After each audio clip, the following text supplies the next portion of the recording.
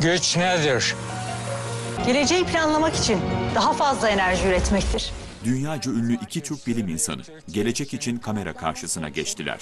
Nükleer enerjinin önemine dikkat çektiler. Akkuyu Nükleer Güç Santrali'nin temelinin atılması için son aşamaya gelindi. Türkiye'nin ilk nükleer projesi için Enerji ve Tabi Kaynaklar Bakanlığı'nca bir kamu spotu hazırlandı. O tanıtım filminde Nobel ödüllü Aziz Sancar, Hayat kurtaran tıp teknolojilerini geliştirmek için. UNESCO ödüllü Bilge Demirköz yer aldı.